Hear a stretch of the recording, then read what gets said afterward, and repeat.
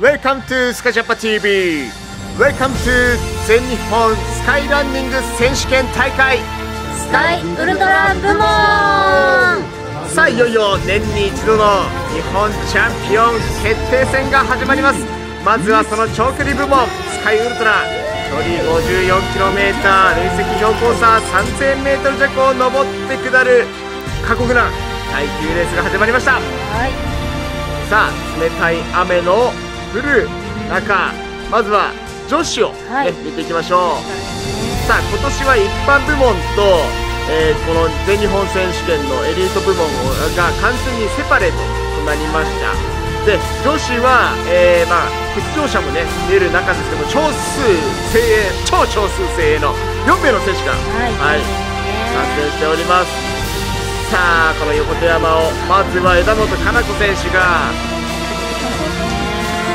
リードしてそして馬場優子選手。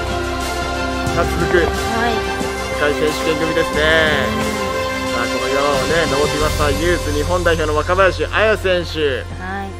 そして世界選手権でもね10位に強かったですよね。ね、以内に入った、はい、星野ゆかり選手が続くというね展開です。さあまだまだ長時間ですからね分かりませんよさあ少し雨が止んできたかなこの急峻なね。ね。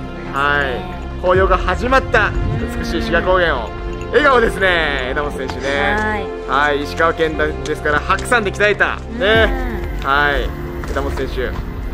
そして馬場優子選手。今年のね 3月にお子さんをご出産されて、はいそうですね。ねよくこうねあの体に戻してますよね。素晴らしいです。さあそしてこの2人がね続くという展開です本当にダモン選手いつも笑顔だね。うん。ね。まだトップをねキープしてますますね。さあこれねここから中盤戦にね入ってきますけれども 15km 地点ね、ここからが結構スキー場のゲレンデが続いたりとか、はい。なかなかあの走力が必要となってくるような。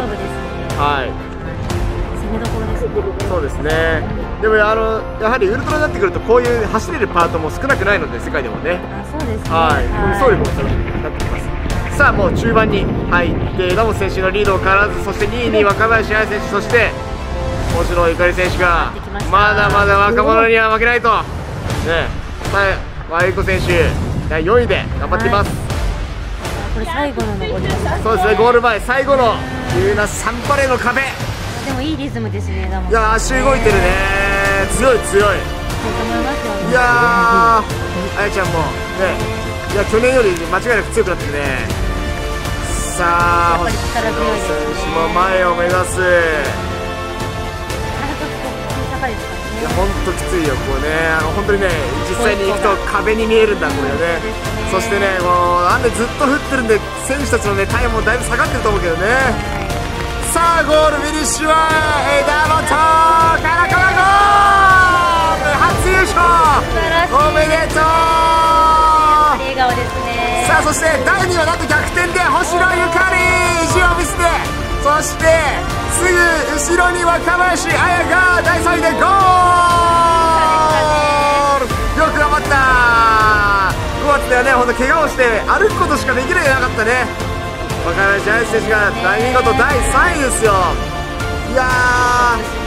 ねえ星野ゆかり選手といい勝負をしている選手がいるってね。いことですよ。少数精鋭ながら本当素晴らしい。はい。楽しみだうねん。さあそれでは男子見ていきましょう。さあ今年の男子はですね今までスカイカテゴリーでスピードで鍛えてきた選手たちが30代40代を中心にはい。はい。もう横にスライドでスカイウルトラの方にね行ってきて。どんな展開そうですね。さあそしてクレイジーからこと甲斐弘樹選手この間のねザ・オーバーティカルで優勝したスピードのある甲斐選手がトップそして小田切翔馬選手宮川智文選手。そして町田智弘選手と続く展開ですね。さあ矢島選手もはい意地を見せるかウルトラがね得意な選手ですからね。そうですね。はい。さあそ小して小畑選手もね来てってますからね。そうですね。やっぱスピードのある選手がここでね出てきますねスピードと山岳力のある選手ですね。さあそして甲斐弘樹選手ももう結構あの軽やかに岩場もはい。いってるね。いやこのね甲斐選手や小田切翔馬選手みたいなこのねスピードのある選手が一気にこの全体のねペースをねあの高めてると思います。今までねウルトラはねやっぱりジョギングみたいなスピードでスタートしてたのがもう今年から違いますね。あんまりスカイカテゴリーと変わらない。さあそして倉岩宗則選手もね出てきましたね。さあ小田切翔馬選手がさあ山岳区間が終わってこれからねスキー場のねスピードを出せるアップダウンの区間になりますさあ冷たい雨がねあのちょこちょこ降ってだんだんとですね選手たちの体温を奪ってくるんで、これねいかにあの山に入っているかっていうところもですね大事になってきますね。やっぱりあのこの山岳のねスポーツですから、はい。冷たい雨の条件っていうのもあるわけで。ねそうですね。だからいかにこの普段過酷な条件の中体を動かしてるかっていうこともね大事ですけど。さあ後半ですけどここでクレイジーカロー甲斐弘樹が出てきた。まあ本当に踊り出ました。走力がやっぱすごい絶対的にありますけどね。で走力だけじゃないからねこのドロドロの区間もあるから。甲斐選手すごいな。そして小田切長馬選手が3分差で追っかけて。そして町田選手。もさらにねプラス数分で追っかけてますよ。はい宮川選手もあすぐ前に町田選手見えるね。はい。さあ5位に黒田選手出てきた。さあ荒川潤選手もね頑張ってるね。はい。出てきますね。さあ一般カテゴリーだけ大津選手。そうですね。さあ最後のサンバレー。いやーでも動いてる動いてる。ここをウルトラ選手が走ってるの初めて見た。いやー甲斐選手軽いね。軽やか軽やか軽やかの軽だね。さあ小田切翔選手も甲斐選手を追いかけて。そうそう。いやーやっぱりね地元長野のねエースだからね頑張ってほしい。そしてここで宮川選手出てきた。町田選手を抜いてここで出てきたか。さあ町田選手もねウルトラをね今までずっとやってきた選手は負けられない戦いがあるよね。さあこれねこのサンバレーねすぐ後ろが見えるんですよこれ。10分ぐらいのねね。差がね一見えちゃうからねすぐみんな選手のみんなね気持ちはね、はい。結構きつい。ファイトって応援し合ってるね。一発ださあゴールはどうだ？でしょうか。チャンピオンは今年はなんとカローカヒロキゴーこれはきつかったと思うけど。すごいね。ポテンシャルの高さを見せてくれましたね。そして第2位はなんとで逆転で宮川智美選手。おめでとうございます。すごい。そして小田切翔馬抜かれちゃったけどでもよく頑張った。やっぱりこのまあ翔太君翔馬君やっぱ強いよ。ねいやすごいトップ3が誕生した。完全ニューフェイス。 New heroes。すごいです。さあそして。町田選手も粘りました。マッチ頑張った。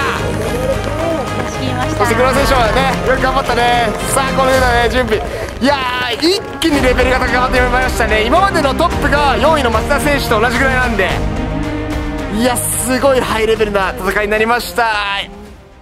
えっと、初めての参加だったんですけどエクストリームっていうだけあって天候も雨が降ってきてで最初あの、えっと、最初の下りのところがすごいドロドロで僕の膝ぐらいまで泥あってもうそこですごい大変なレースに出ちゃったなって思いました、はい、でもあの後半しっかりと上げれて自分の走りができたことが優勝につながったのかなと思います、はい、バーティカルの日本選手権に出るのでそこでちょっともう一回頑張ってみようかなっていうのとあとはファイナルのあの琵琶湖も出るのでそこは招待していただけるのでそこで優勝できるようにちょっと今後も練習していきたいなと思います。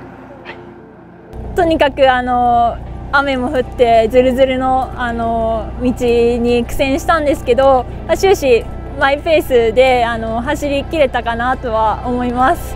であの志賀高原エクストリームは初めてのあの参加だったので、まあ、どんなコースなのかなってあの志賀高原マウンテントレイルは出たことあったのでかかぶってるところはなんとなく想像はついたんですけどもう初めてのところは、まあ、こうどんなのかなって思いながらも、まあ、ぐちゃぐちゃで 結構そこは苦戦して、まあ、でも、まあ、最後まで笑顔で楽しく走れたのは良かったかなと思います。